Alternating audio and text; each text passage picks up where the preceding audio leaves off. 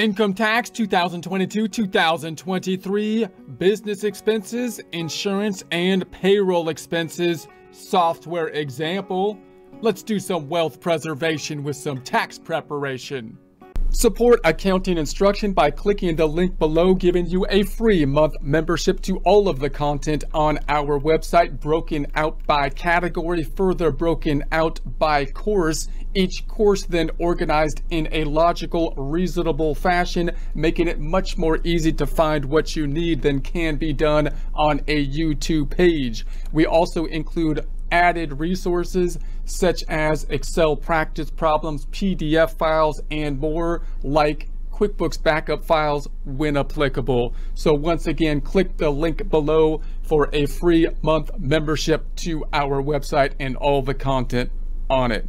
Here we are in our example form 1040 populated using Lacerte tax software. You don't need tax software to follow along, but it's a great tool to run scenarios with. You can also get access to the form 1040 related forms and schedules at the IRS website, irs.gov, irs.gov. Starting point, single filer, Mr. Anderson, living in Beverly Hills 90210. No W-2 income, we've got the business income. Let's look at the flow through of the business income. It comes from the Schedule C, profit or loss from business income statement format, the net income in essence, rolling then in to the Schedule 1. That's not Schedule 1, Schedule 1. And then that rolls into the Form 1040, line number 8. We know there's going to be self-employment tax calculated. That's done by taking the Schedule C once again, Schedule C net income flowing into Schedule SE self-employment tax, calculating the self-employment tax 14129, which is on uh, pay, Schedule 2, flows into Schedule 2, and that flows into the Form 1040, page 2, and there's the 14129. Half of that is deductible, which we could see on page 1 above the line deduction adjustment to income there. That is going to be calculated Schedule C net income used to calculate the self-employment tax of the 14,129, half of that, uh, 7,065 deductible, it flowing then to Schedule 1, page number 2. There it is. That flows through to the 1040 right there. So now we got the 100,000 minus the 7,065 is 92,935, 12,950 standard deduction, 15,997. That's the qualified business income. And then we've got the net income 63,988. Page two calculating the tax, the tax, federal income tax, and the Social Security and Medicare self-employment tax comes to the 23,829. 30,000 was withheld. That gets us to the 6,179. Back to page one, we're focused on the Schedule C. So if I go back on over to the Schedule C, we're looking at deductions related to insurance. Now, most of the time, the insurance deduction is going to be fairly straightforward, although you do have to be careful with regards to the accounting side of things. So as a tax preparer side of things, you want to be thinking, am I doing a lot of work to help out with with the bookkeeping? Or am I am I have a system set up that the income statement that they give me is basically good to go and I'm just going to basically do the data input.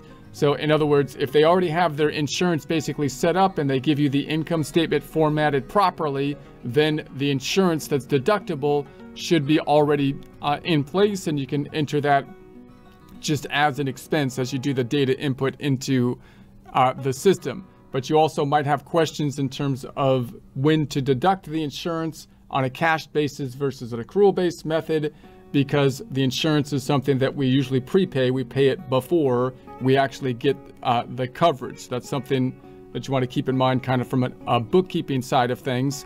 Note that most of the insurance that we think of that is business related would be something that would be de deductible, like liability insurance, uh, health insurance if it's for the employees and so on. And then we might have the insurance that's deductible for health insurance that's personal for us uh, in special kind of situations, which wouldn't be on the Schedule C, but possibly rather on the above the line deduction, which we'll take a look at. So I've added the insurance. So insurance right here, again, if if if accounted for properly and it's business related, ordinary and necessary type insurance, like liability insurance, for example, it would be here.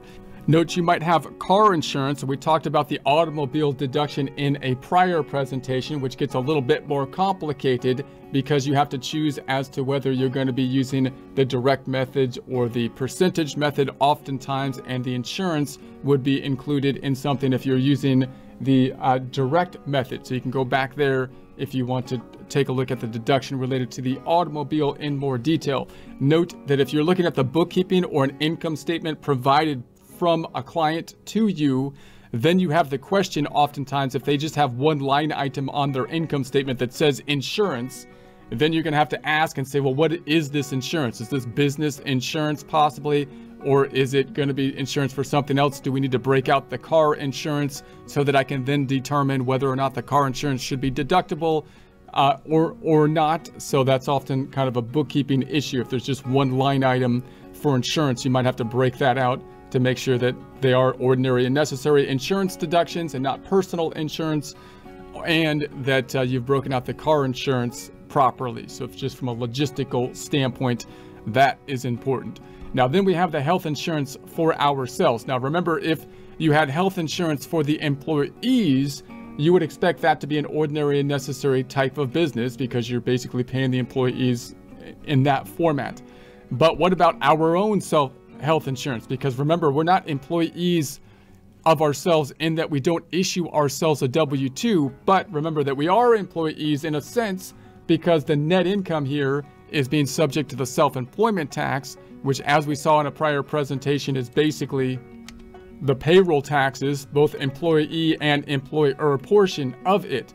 So if we were in a situation where we were an employee of a, of a corporation, they would get a deduction, you know, for the for the uh, the uh, health insurance. So you would think that we should get a similar kind of benefit. So, for example, in other words, if I was like a corporation with a separate legal entity, then I might have to pay myself in that situation because because I would have to issue myself basically a W-2 income because the corporation is a separate legal entity and then the corporation would get the deduction for uh, health insurance if that's going to be a deduction. If you're going to treat me like an employee of myself by subjecting me to self-employment tax, which is similar to employee and employer payroll taxes, you should think I should get a benefit for my own, you know, health insurance.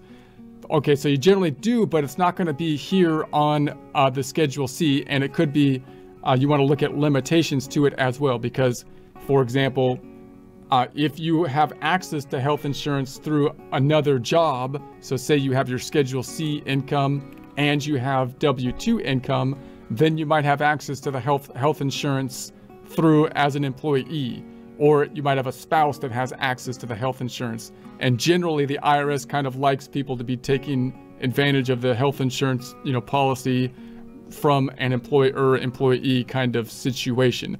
So you want to make sure if you have any restrictions there. But if you don't have any health insurance available to you uh, through other means, then you think you, you may be able to deduct an above the line deduction for the health insurance. So that's going to be over here. So we're going to say health insurance, page number two, schedule one. So we have it here uh, for the health insurance. Boom, line 17. Let's jump to the data input. I'm going to say health insurance, and let's say it was 7,000, let's say. Um, health insurance, and I pull that on over, and there it is. So that's going to be included here. If I add that up and then move that on over to the form 1040, then it flows in through to the 1040 as an above the line uh, deduction or just uh, uh, adjustment to income. Sorry.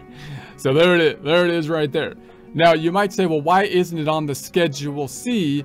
And there could be a couple reasons, but one, one, one thing with the health insurance is that usually it can't allow you to go below zero. So if you didn't have income, you're going to be limited to how much the insurance uh, can be. And if they put it here, it would cause like a circle reference, so it's a little bit easier to calculate. For that reason, uh, is one reason that it's going to that it might be over there. So for example, if I brought the income down. Let's bring our income down on my business income. I'm gonna go income for the Schedule C. And let's say that this was, let's say this was 100,000. And then boom. So now I had 10,000. Let's make it a little bit higher. Let's make it uh, uh, 115,000.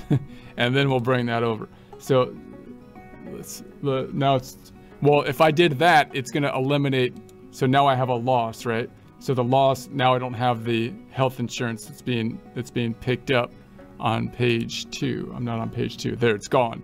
So then if I go back on over, let's make it, let's make it uh, 110,000 and bring that over. And so now I've got my schedule C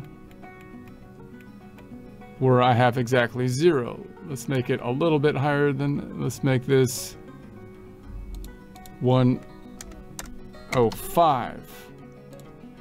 So now I have 5,000 of income and you can see in schedule two, the, I'm not schedule two, schedule one, page two, I've, it's limited the, the self-employed health insurance now. And So here's a worksheet showing the limited amount. So, so it's going to be subject to having income. Basically, it shouldn't be taking you below the income threshold is the general idea. So when you when you're doing your your taxes, then you want to do a couple things with the health insurance. You want to be thinking, okay, uh, is the health insurance being included on my my uh, income statement uh, for the for the individual? And if it is, then I need to take it out of the Schedule C here because I need to possibly deduct it somewhere else. And if there is no health insurance that's being deducted for the individual, then the question is, well, why is that? Is that because they're being covered uh, for health insurance in some other way uh, through through another like a W-2 job or something like that, or spouse's job, or do they have uh, self-employment health insurance that possibly could be a deductible that's not on the income statement, wouldn't be on the Schedule C, but possibly an above the line deduction. So you want to kind of keep that in mind. That's always a question you want to be thinking and make sure you've got straight uh, with regards to the health insurance of a taxpayer that has a Schedule C business. All right, so now let's look at the payroll. So notice over here, the payroll is another one of those items where you have to be thinking, am I just going to assume that payroll is done correctly and my job is just to do the data input into the Schedule C with a payroll that is properly formatted? Or are you going to take on the bookkeeping of actually helping them process the payroll uh, kind of situation remembering that payroll can be quite complex because you got to deal with the quarterly taxes and the withholdings and all that kind of stuff as well. You might want to be working with a bookkeeper as a tax preparer and or a payroll professional to help clients out with and be working in a network type of situation. If you're just doing the data input for the payroll, you may still want to do a double check on the payroll items because notice that the wages here, which aren't going to be including the wages of the owner because they're going to be paying self-employment tax, you'll remember, on the net income. So this is a deduction that we paid to employees, not contractors, but employees that we have here. And we also have reporting, the, the, the taxpayer would ha also have to have reported generally 941s on a quarterly basis, reporting the self-employment tax, Social Security, Medicare, and federal income tax that was withheld as well as uh, a Form 940 at the end of the year for, for FUTA, federal unemployment tax, and they would they would have the W-2s and the W-3, which which would summarize the payroll that has been paid. So you would think that you would want to look at those forms that have been given to the government and see if they match the deduction that we have here, because if they don't match, that could be like a red flag, you would think, because the IRS has everything to, to see that the fact that those two things don't match. The other thing that's, that you might want to kind of just keep in mind, people all, always get messed up on payroll, is the amount that should be on wages versus the amount that should be payroll taxes. Sometimes people include those two things on one line item. It's more clear if you break those two things out into two separate line items for the for the wages and the payroll taxes, because that's you know, that's how it often it's going to be formatted. And the payroll taxes, though, do not include the the employee taxes because the employee taxes were withheld from their wages and therefore therefore those are actually their taxes the amount of taxes that we had to pay over and above the the taxpayer had to pay the employees over and above social security and medicare and some futa for example possibly state taxes those are the taxes that should be broken out over here so you might want to get the, the W3, the 941s, and just double check that these numbers line up as just a as just a standard uh, kind of process to to to give a, a verification that everything's everything's lined up appropriately.